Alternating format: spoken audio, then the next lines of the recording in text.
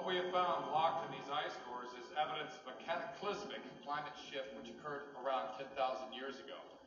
The concentration of these natural greenhouse gases in the ice cores indicates that runaway warming pushed the planet into an ice age which lasted two centuries. أنا لا أفهم I'm confused. كنا نتكلم عن I thought you were talking about global warming, not an ice age. Yes, it is a paradox, but global warming can trigger a cooling trend. Me explain. The northern hemisphere owes its temperate climate to the North Atlantic current. Heat from the sun arrives at the equator and is carried north by the ocean. But global warming is melting the polar ice caps and disrupting this flow. Eventually, it will shut down, and when that occurs, there goes our warm climate. Excuse me, uh, when do you think this could happen, Professor? When?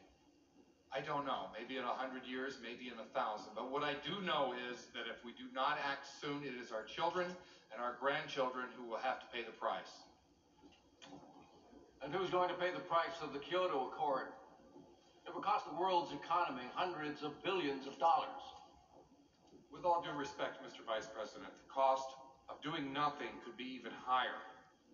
Our climate is fragile.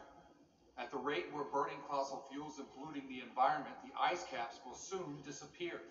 Professor uh, Hall, our economy is every bit as fragile as the environment. Perhaps you should keep that in mind before making sensationalist claims.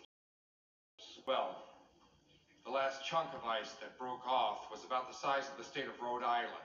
Some people might call that pretty sensational.